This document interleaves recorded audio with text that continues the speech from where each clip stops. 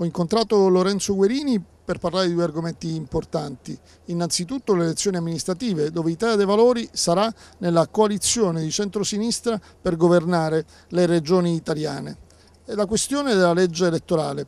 Ho chiesto a Guerini che venga innalzata la soglia per ottenere il premio di maggioranza, almeno al 40%, per fare in modo che chi prende il premio di maggioranza abbia veramente i numeri per governare, ma anche la possibilità all'interno della coalizione che tutti i soggetti che fanno parte della coalizione possano avere una propria rappresentanza in Parlamento. Così si può raggiungere un obiettivo vero, quello della piena democrazia e dall'altra parte di un governo vero del Paese.